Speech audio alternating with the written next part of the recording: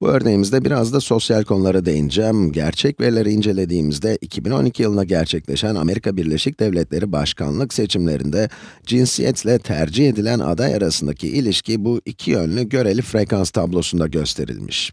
Tabloya bakacak olursak bir sürü sayı görüyoruz. İki tane de isim var. Obama ve Romney. Seçimin iki önemli adayı. Sütunları incelediğimizde burada erkek seçmenler var ve sütun toplamı 1'e eşit. Biri aynı zamanda yüzde yüzü temsil ediyor. 1 demek, yüzde yüz demek. Erkek ve kadınların oy dağılımına bakarsak, erkek seçmenlerin 0,42'si ya da yüzde 42'si Obama'ya oy vermiş, yine erkeklerin 0,52'si ya da yüzde 52'si Romney'i tercih etmiş. Geriye kalan yüzde 6 ise ne Obama'ya ne de Romney'e oy vermiş.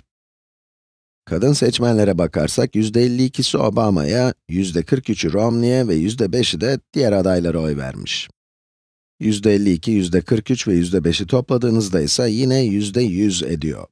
Şimdi sorulan soruya bakalım. 2012 seçimlerinde erkek seçmenler Romney'i kadın seçmenlere göre daha mı çok tercih etmişler? Bakalım.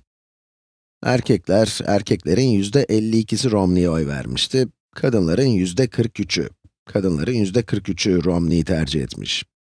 O halde erkekler, seçimde oy kullanan insanlar kümesinden rastgele bir erkek seçerseniz, bu kişinin Romney'e oy verme olasılığı yüzde 52.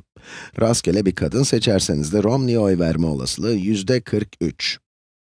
Buna göre kadın seçmenlerle karşılaştırıldığında erkek seçmenler Romney'i daha çok tercih etmişler. O halde doğru cevap evet olmalı. Evet seçelim. Şahane.